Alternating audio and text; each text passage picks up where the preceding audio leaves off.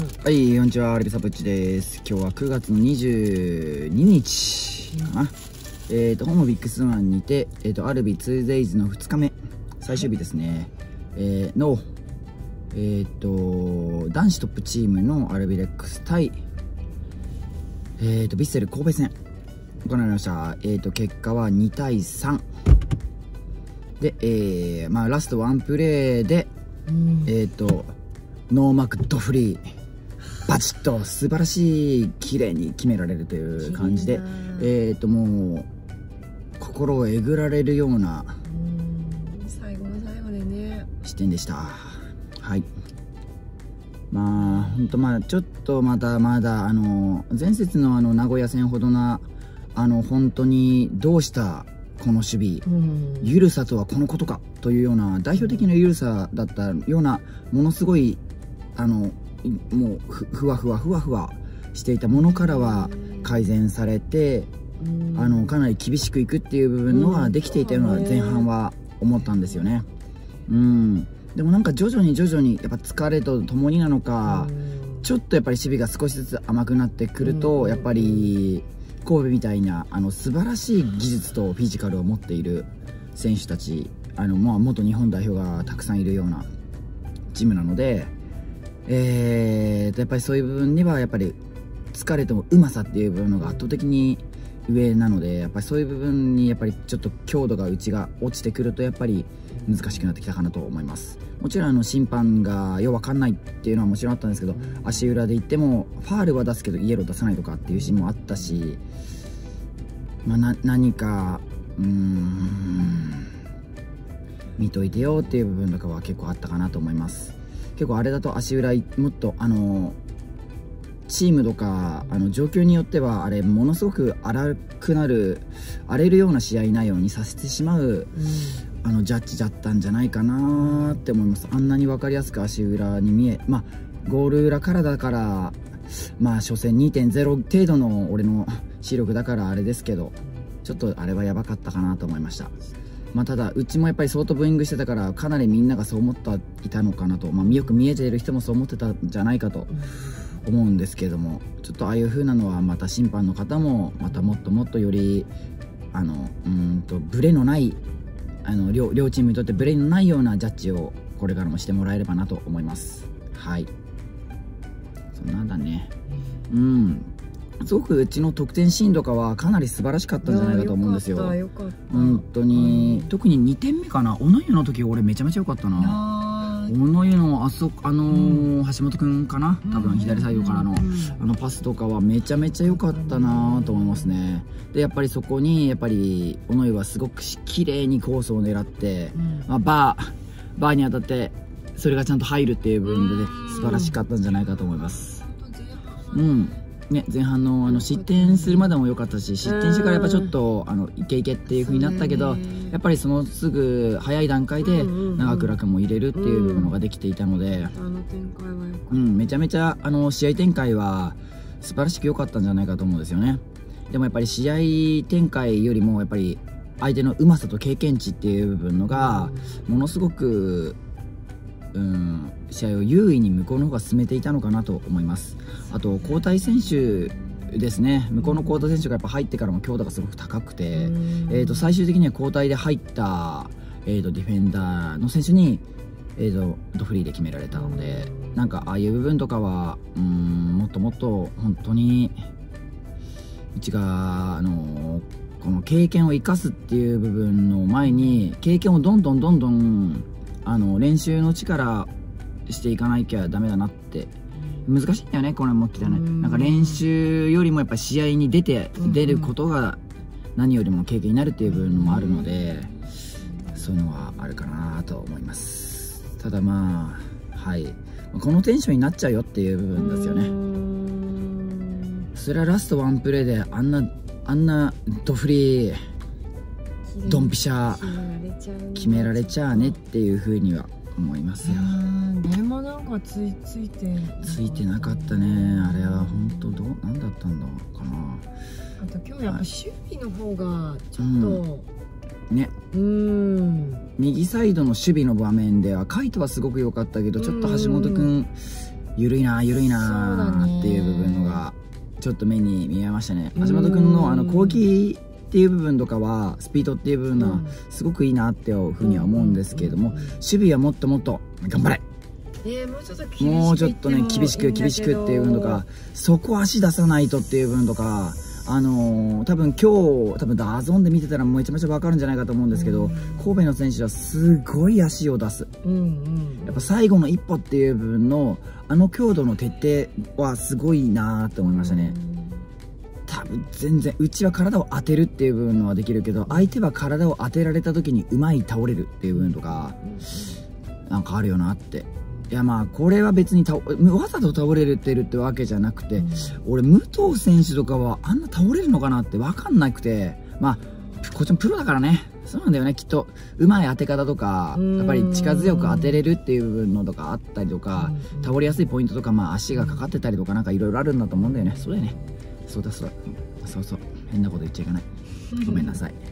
まあとりあえずめちゃめちゃ気分が悪いのでこれからあの残ってるパンがめちゃくちゃ激うまなのでそれだけを堪能して帰ろうかなと思います、えーと今週のアルビツデイズはなかなか結構きつかったなという感じで最後の終わり方の締めがやばかったです。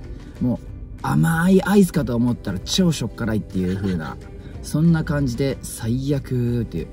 まだ美味しかったな。えー、この前菜超美味しくない？みたいな。あ前菜ちょっと苦手からも辛すぎるみたいなのがあってね徐々に徐々に、うん、いや美味しい。この麺も美味しい。うわやば。えー、すげえ美味しい。ってなってきてて。ん？なんだ？これ。うん。なんだこれ、ね、そんな感じぐらいで締めが悪いとやっぱり最後の印象も全部悪くなるよねっていうふうに思いました。結局ねブーイングでなんか終わっちゃって。そうブーイングなんかねしたくないんですよ。私もブーイングなんかも当たり前にされたくないと思うんだけどね。でもまあ本当にはい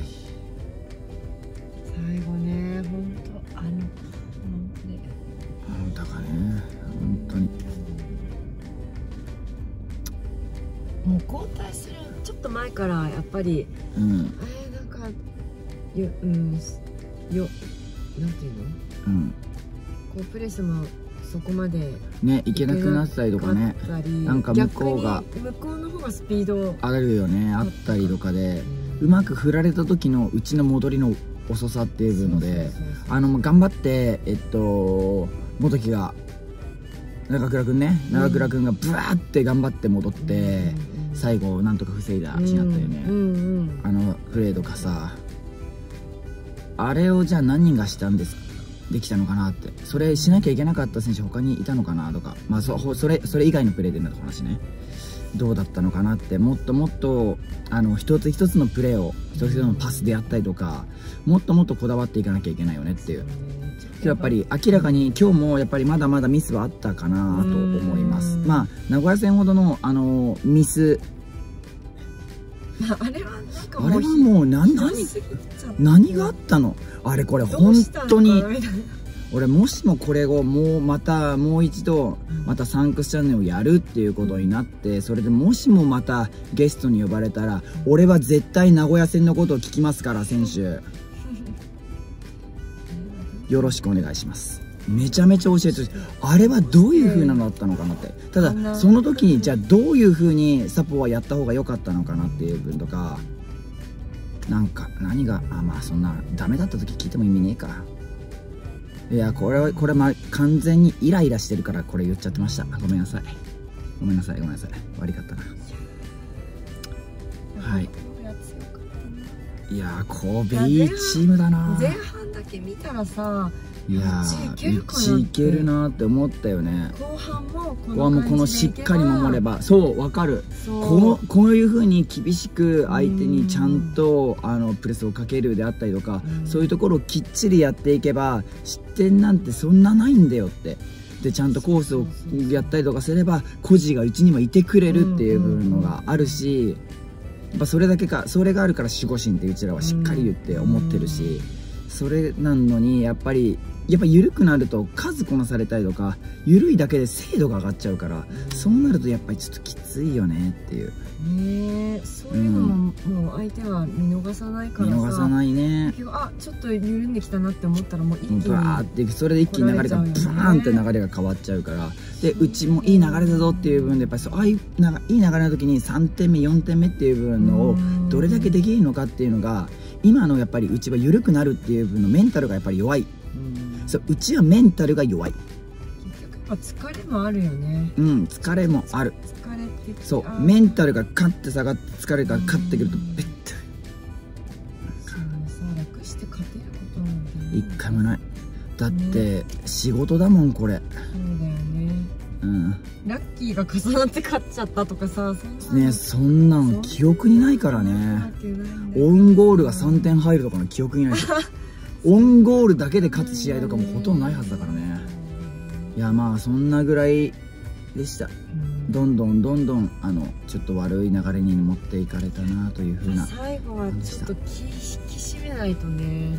ダメだった。うん。あんなふうになるんだなって思いました。俺逆にねあのコーナーキックの時にね一人こっちに来いって思ってた。あもうカウンターで絶対行って入れてや勝とうでって思って。えー、ちょっとジン君とかこっちに来なよって思ってた。ぐらいだったらあんなドフリンされるんだったら絶対来ちゃダメだ。ねーって。そんな感じに思ったわ。そう。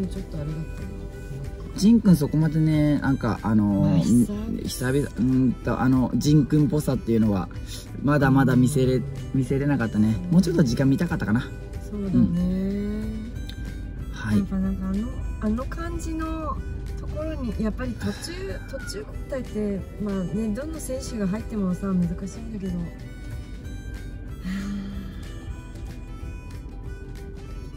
はい、うん、以上です。今日はもう次次。やるしかないね。えっ、ー、と次は金曜日のえっ、ー、とまあえっ、ー、と金 J ですね。はい。俺の大嫌い ね金 J 金 J ね本当に嫌い。あれ何なんだろうね。なんか仕事帰りに行きましょう J リーグでしょ。いや嫌いだな。いや。そう俺金 J が全然意味がわからない人間なんですごい嫌いなんですよ。まあ当たり前に金曜日にそんなに早くし終わる仕事じゃないからっていう風なのももちろんあるんでしょうけど俺は。嫌いですね。あれやってなんか観客サポーター増えたのかな？なんだろうね。なんかそういう風な結果とかもなんか J リーグ教えてほしいね、うん、きっと野々村さんならそういうのも出してるんでしょ？あの人ビジネスマンですごいできる人みたいだから。期待しますよ野々村さん。WE リーグの理事なんか理事長なんでしょ？期待しますよ本当に。ちゃんとやってくれ。マジでちゃんとやってくれ。俺は知らんけど。はい。じゃあ今日はこんな感じで。なんかね愚痴が本当にね変なもう暴言吐く吐かないように吐かないようにとにかく吐かないようにっていう部分だけで、えっ、ー、と、今日もやりきりました。お疲れ様でした。じゃあ皆さんも、えっ、ー、と、頑張っていきましょう。最悪な週の始まり。でも、切り替えが大事。うちらが切り替えないと選手なんかね、ね無理だから。まずうちらも切り替えてやっていきましょう。